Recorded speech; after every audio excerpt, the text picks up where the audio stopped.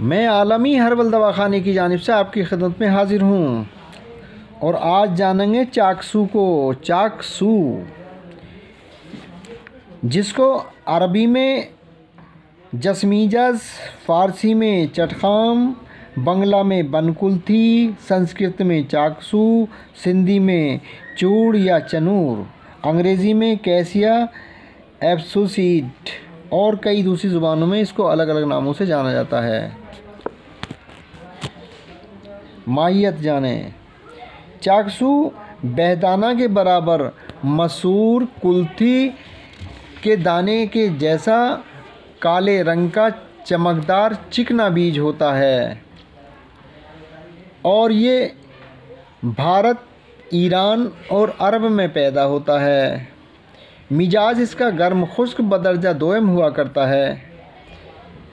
जाने इसके अफ़ाल, क्या करता है किस किस बीमारियों को दूर करता है। इसके जानने से पहले अगरचे आप चैनल पर नए हैं, पहली मरतबा देख रहे हैं तो पहले बर मेहरबानी चैनल को सब्सक्राइब करें, फिर घंटी का बटन दबाएँ, ताकि आने वाली और मौजूदा तमाम वीडियो आपको मिलती रहें, आप उससे फ़ायदा उठाएँ। तो जानें इसके बारे में। इसके अफ़ाल जानिए ये हाबिसुद्दम और काबिज शदीद, जाली व महलिल और नाफे अक्सर अमराज चश्म, यानी आँखों के अमराज में, आँखों की बीमारियों में बेहद मुफीद हुआ करता है। चाकसू को 21 अदद लेकर संदल सफ़ेद पाँच माशा के साथ बवक्त शाम के वक्त में भिगोकर सुबह के वक्त में इसका आब जलाल निथार कर बोलिदम खसूस बोलिदम कुलवी में मुश्तमिल है और मुफीद है, यानी गुर्दों से खून आने के लिए, पेशाब में खून आने के लिए मुफीद है। जाली और महलिल होने की वजह से इख्तिहालन ज़रूरन अक्सर अमराज चश्म, मसलन जोफ़ बसर, नज़र की कमज़ोरी और रमद जरबुल अजफ़ान, जाला और दमा ढलका के लिए इस्तेमाल किया जाता है।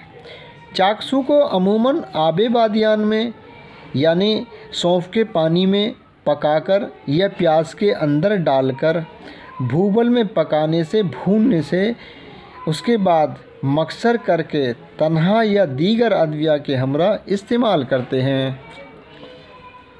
ख़ास नफ़ा अमराज चश्म के लिए मुफीद होता है।